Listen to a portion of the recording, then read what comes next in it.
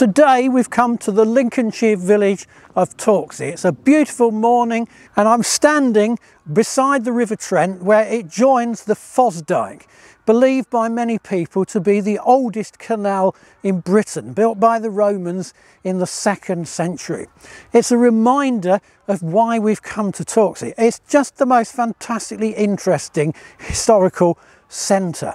So we can start with the Romans. We're going to go on to consider the Saxons who made this one of the most important towns in England. Then it became actually the Viking winter quarters. The Vikings came and camped here beside the River Trent. But after that, a thousand years of decline for Torksey. We'll investigate what has disappeared from the landscape here before a slight revival later on with the building of a, a, a, gentleman's house called Torksey Castle. We'll hear about how that was destroyed in the Civil War. And then the other interesting feature here was this spectacular Victorian Bridge, which has a fascinating history of its own. So I'm really looking forward to exploring the Lincolnshire village of Torksey.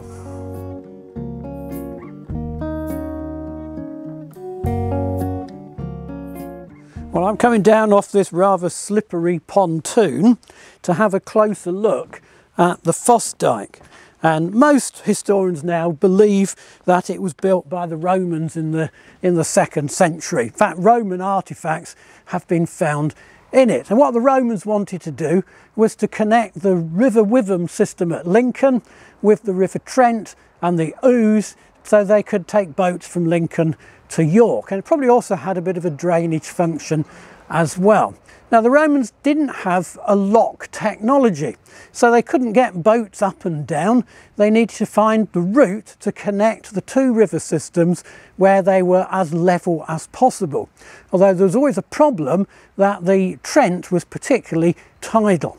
Anyway, they found the route through to Torksey, and you can still see the, on the map how the Fosdyke was aligned in order to bring it into the Trent at the right point.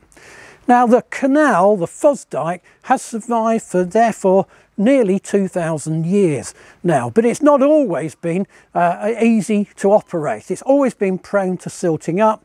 At the time of King Henry I, for example, uh, there was a lot of uh, issues about it being blocked, and the time of Charles II, extra work had to be done about it. But it's a fascinating place and we're going to go and have a closer look at Torksey locks which were added obviously many years after the Romans and are really a fundamental feature of the landscape around here. So that's where I'm going to go next.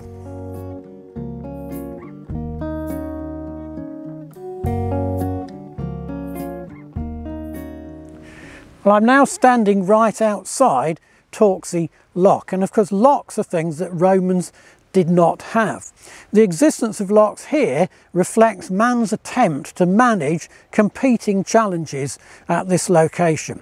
On the one hand, there's the interest of the navigation in order to bring boats up and down. On the other, there's the problem of flood and drainage of the land. Some people wanted the land drained, many of the locals didn't. The problem here was that the Fosdyke waters are above the level of the land and actually above the level of the Trent for much of the year. But at some points in the year, the Trent is in flood, the water level is higher, and there's a risk that the waters of the Trent will flood back to the city of Lincoln, as they used to do uh, tens of thousands of years ago. The first lock gate then was built here in 1672 uh, in order to try to manage these issues. But that put at risk the locals' use of the fenland for their own purposes, part of a scheme of Charles II, drainage, in fact. And in 1680, the lock gates here were destroyed by the local people. We've now come up from the huge gate designed to keep the Trent floodwaters out onto Torksey Bridge above this series of locks. In fact, I'm actually standing against the parapet of the old Torksey Bridge, a strategic point in this area, as we shall find out later on. But I want to talk about this area in the 1700s. It was a time of revival for the navigation. From 1744, the Ellison family of Lincoln were put in control of it uh, and they improved it, made it more efficient, but they also became extremely wealthy as a result. Land drainage was taking place, but there were some major challenges with floods in 1770 particularly. Uh, and that year, the Trent water came over the top of the gate uh, to a depth of four feet across the local land. And all that water piled across the landscape towards Lincoln, where there was a significant problem. The High Street in Lincoln forms a dam against the flood waters. All the water channeled under the old High Bridge. As the waters approached the city, they brought with it old haystacks that they'd gathered along the way. And the Mayor of Lincoln realised there was a real danger that the High Street Bridge would be blocked and the whole of lower Lincoln would be badly flooded. So we have this scene of people trying to hoik the haystacks out of the water in order to preserve the city. 1795, another disastrous flood. The water tore down the floodgates, flooded this whole area to Lincoln and many villages to a depth of several feet. Uh, and the water stayed for over three weeks. So that people in parts of Saxilby, for example, had to go and live in their parish church as a, as a safe place. So this beautiful, peaceful scene today uh, really is a bit beguiling because there is always risk here. And you'll see in the background, even alongside that modern caravan estate, there are some flood banks there designed to protect them not from the Fosdyke, but from the Trent.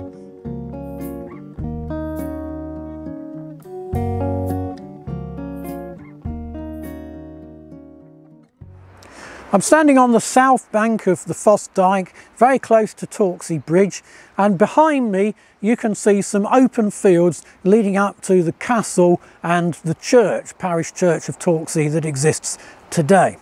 In fact, those empty fields were once one of the most important towns in England, now totally disappeared.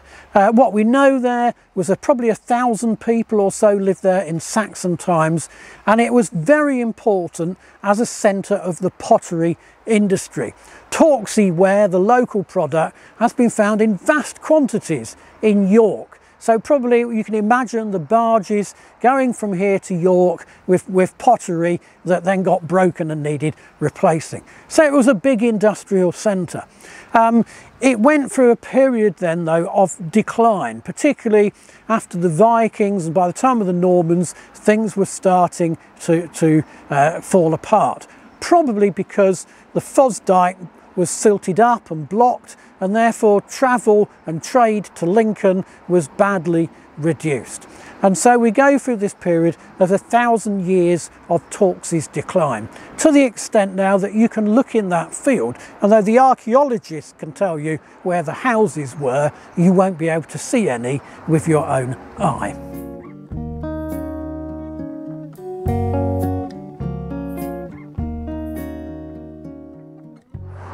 We've come about half a mile north of Torksey Lock into modern Torksey and it's really just on the northern edge of where the medieval town of Torksey was. I'm standing outside the old pub, the Hume Arms, named after one of the local landowning families and I'm interested that on the old maps it says Abbey Close and I'm in search of one of Torksey's medieval abbeys, St Leonard's. So let's see if we can find it down this footpath to Abbey Close. According to the map, uh, just alongside here is Abbey Close, uh, where it was believed that the monks lived. And what we're talking about here is St Leonard's Priory, which was a monastery started here in the early 1100s by King John or King Henry, one of two religious residential establishments that the medieval town of Torksey had. There was St Leonard's here for men, and there was the Foss Nunnery for women, which is believed to have been much closer to the Foss Dyke in the old Saxon town. The St Leonard's Monastery was never very successful. It was always short of money, and by the time of the dissolution of the monasteries in the 1530s, there were only four resident canons who lived here, so not a very successful place. What there was also here, uh, just beyond me really, is the site of St Mary's Church, one of Torksey's three medieval churches. But the population declined so much that those churches were not all needed and gradually the parishes were amalgamated uh, and now we're left with just one. You might say, where is the monastery? Well, we're in an area where good building stone was very rare. People didn't tend to let old buildings stand around for long before they found a way of reusing the stonework. So pretty well everything above the surface has vanished. Occasionally people have found uh, interesting old artifacts. Uh, for example, in the 1800s they found a Sheela-na-gig, a very rude medieval carving, perhaps from the old church, uh, which, was, which was dug up. Some of the guidebooks say that the last remains of St Leonard's were broken up and turned into grit stone for the roads in the 1800s. To be honest, I've heard that story about no end of places, so I tend not to believe it.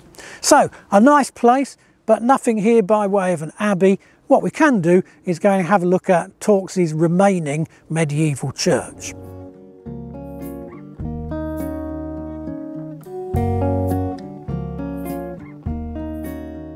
We weren't very successful trying to find the old abbey or the old St Mary's church, but we are now outside St Peter's, the one remaining medieval church in Torksey. And it's got a beautiful churchyard, lovely old limestone wall, which clearly has come from somewhere else. Let's go in the churchyard and see what we can find of interest. I'm now in the churchyard, beautiful English country churchyard of Torksey's one remaining medieval church. It's a church from the 13th century, quite a nice sturdy tower and there's one or two quite interesting uh, faces in the stonework that are worth a closer look. It's also a fabulous churchyard, really interesting wall around it, uh, clearly made out of limestone and you wonder which of Torksey's medieval buildings that stonework in the churchyard came from. Uh, but the history of this church is quite interesting because notoriously it was a very poor living. In other words, if you were vicar here, the pay was very little. And throughout its history, there are great gaps where there's no known incumbent of this parish. In the um, Civil War period, in the 1640s and 50s, they did actually get a man called William Quip, who was one of the local Puritans, to come and provide services here. But in 1662, Charles II brought back many of the traditions of the Church of England, high church traditions, and William Quip was removed from Torksey. Uh, and after that, we've got no idea of any other clergyman serving the village until 1706. It really didn't attract people to come and work here. One thing that happened, of course, was in that case, other people filled the gaps. And eventually in the early 1800s, when they got a, a, curate to actually come and serve here, he found that the primitive Methodists had made inroads in Torksey and were meeting in some cottages of some agricultural workers, where he was rather shocked about this, uh, spoke to Lord Brownlow, Lord Brownlow bought up the cottages and evicted the primitive Methodists. So not a great day in the tolerant uh, history of the Church of England, you might say. It's always interesting to wander around these country churchyards looking for tombstones and the names tell us some interesting connection to local history. Take this one. This is Charles Thistlewood. Thistlewood is an old Lincolnshire family name. The most famous one of this family was Arthur Thistlewood from Horncastle.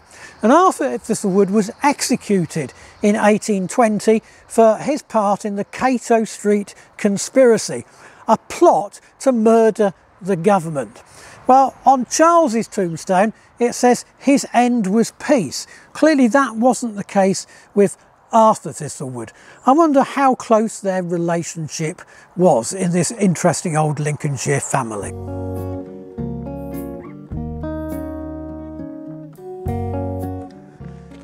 Well, I've walked about 200 yards north from Torksey Church and I've come up onto the old railway line, the railway line that ran from Lincoln to Retford and Sheffield via Sykes Junction.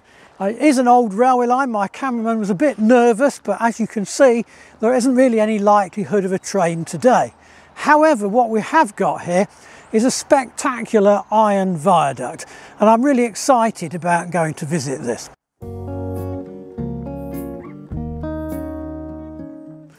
I've walked about a third, maybe halfway across Torksey Viaduct. It's a very long structure to allow for the fact that the River Trent would flood uh, at vast widths as we've seen over, over the years. Behind me uh, there's a great view of, what, of Torksey. You can see the church uh, and also the castle. But actually the river formation here is fascinating too. And just where I am is the beginning of Torksey Island. The railway engineers actually planted some of its foundations on a small island in the middle of the River Trent. And this is a reminder that in centuries gone by, the Trent actually flowed in several different courses, and there were many islands like this up and down its course. Well, I'm now going to go over to the other side of the bridge and see what I can see looking to the north, because I think there might be some things of historical interest on that side as well. At the beginning of this video I mentioned that the Vikings were an important part of Torksey's history and then I haven't mentioned them since. You're probably thinking he's forgotten about it but I haven't. This is the place where we can find out about Viking history. For a start, we're looking on the River Trent, the highway into England for successive Viking invaders. And we know they went up and down here many times. But we also know from the Anglo-Saxon Chronicle that the winter of 872 to 3, what was called the Great Heathen Army of Vikings, spent that winter time in a camp at Turks Island, Torksey as it became known.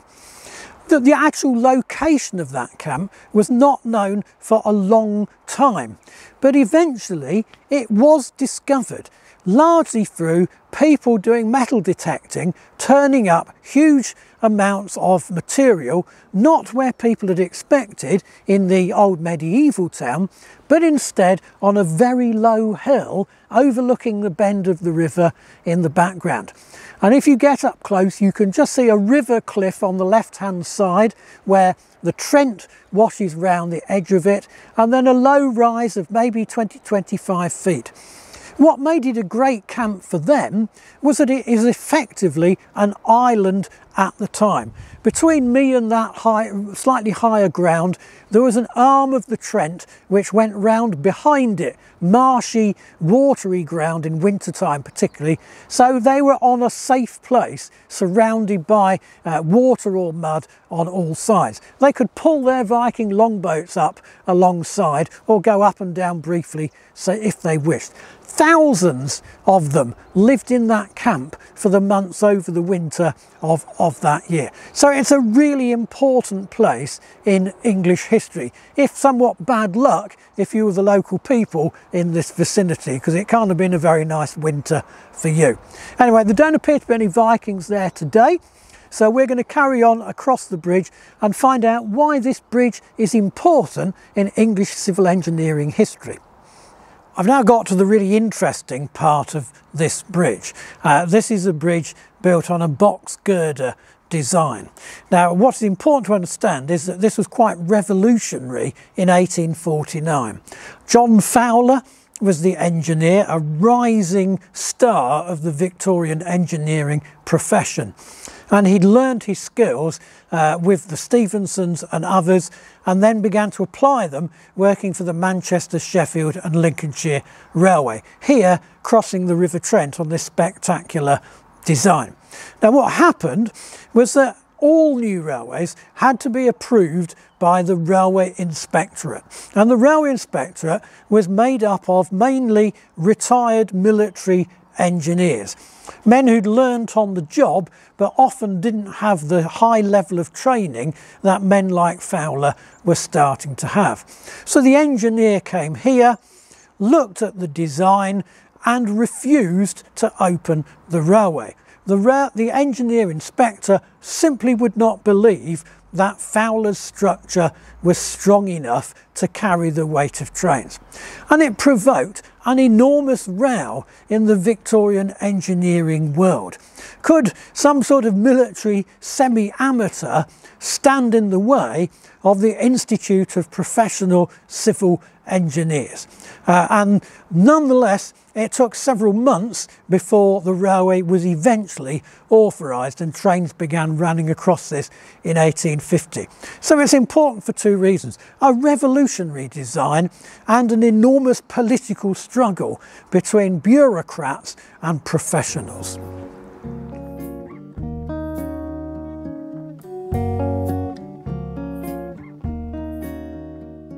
We've come down off the railway viaduct into the Nottinghamshire side. And we've done this so we can come to this very famous viewpoint of Torksey Castle across the river.